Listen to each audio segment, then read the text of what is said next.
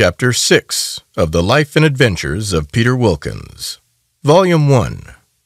When we who were in the boat came to reflect on our condition, the prospect before us appeared very melancholy, though we had at first readily enough embraced the offer, rather than perish in so much misery as we suffered in our loathsome confinement.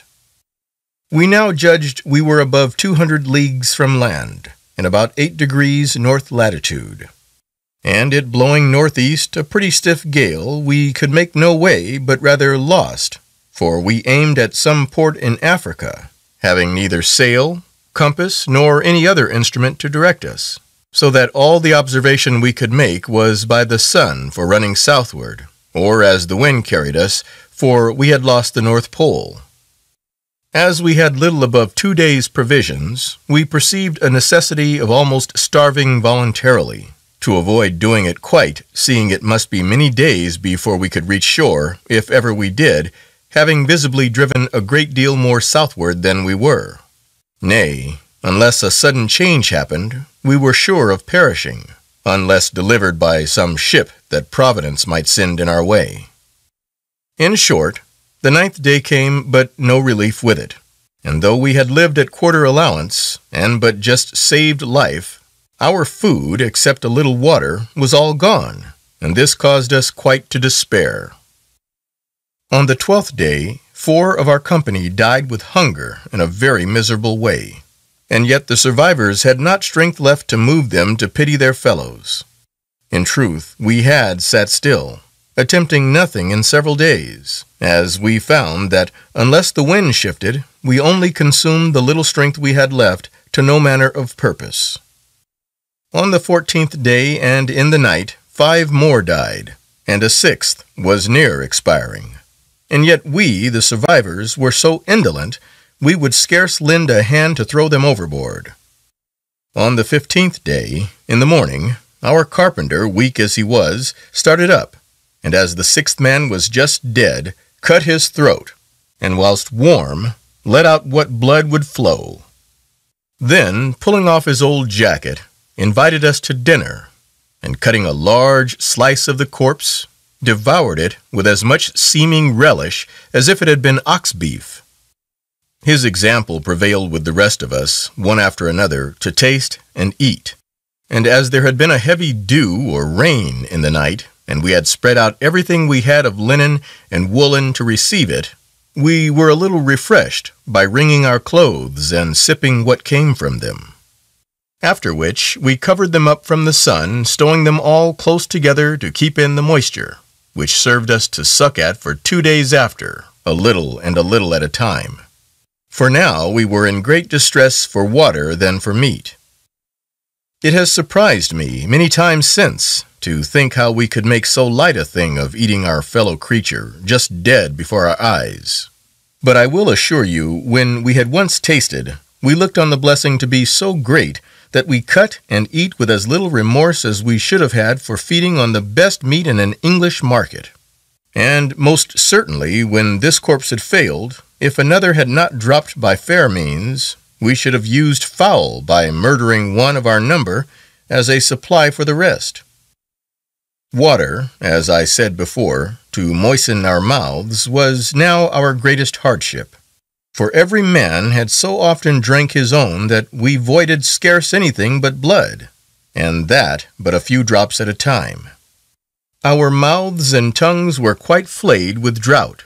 and our teeth just fallen from our jaws. For though we had tried, by placing all the dead men's jackets and shirts one over another, to strain some of the sea water through them by small quantities, yet that would not deprive it of its pernicious qualities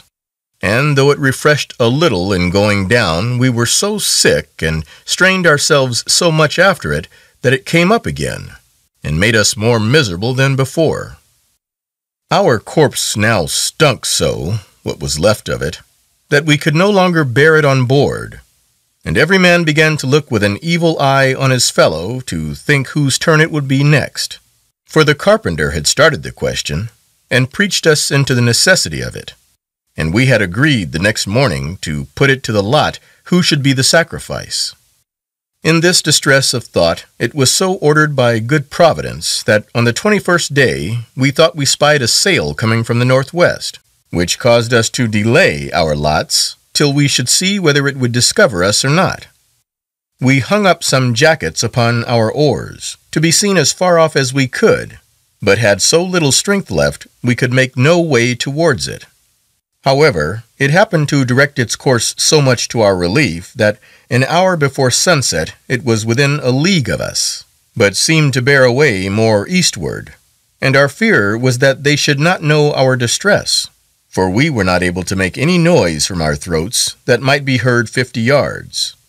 But the carpenter, who was still the best man amongst us, with much ado getting one of the guns to go off, in less than half an hour she came up with us, and seeing our deplorable condition, took us all on board to the number of eleven.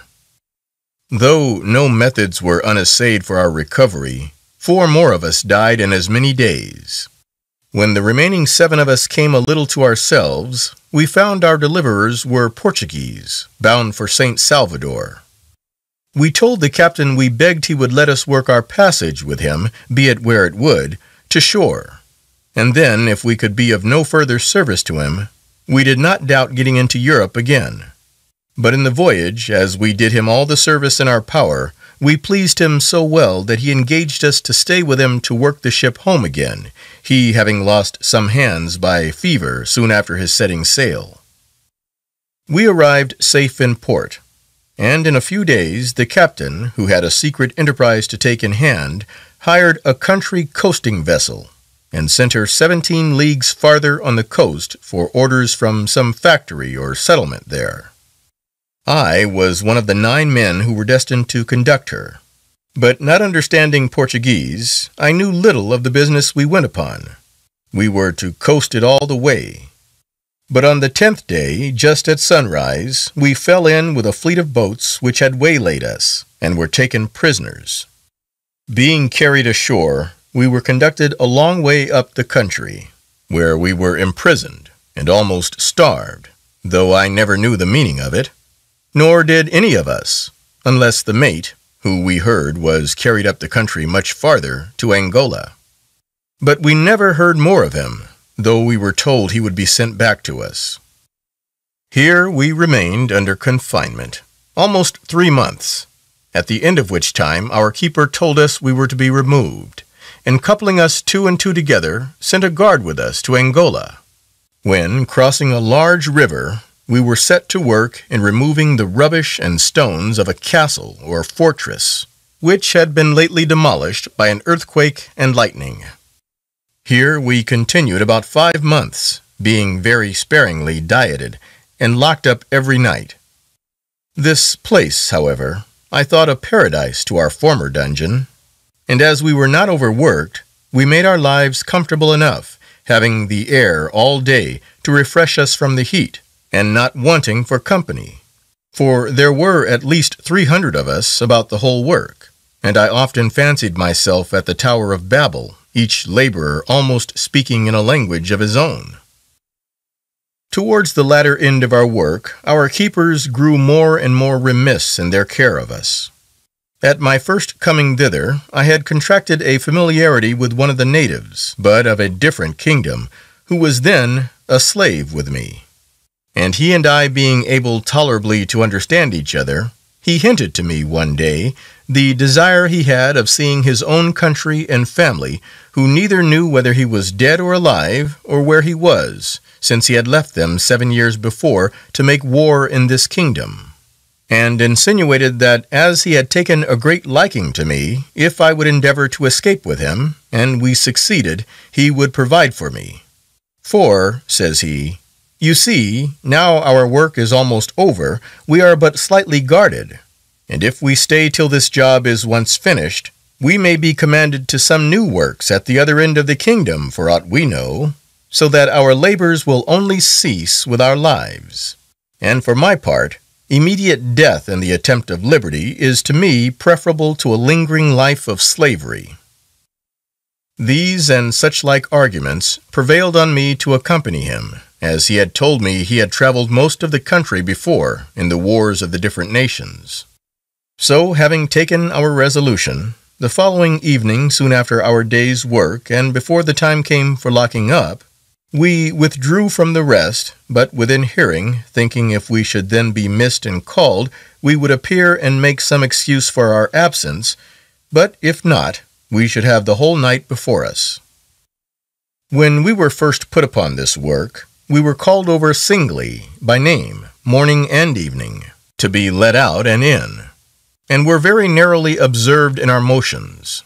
But not one of us having been ever absent, our actions were at length much less minded than before, and the ceremony of calling us over was frequently omitted. So that we concluded if we got away unobserved the first night, we should be out of the reach of pursuers by the next, which was the soonest it was possible for them to overtake us as we proposed to travel the first part of our journey with the utmost dispatch. End of chapter 6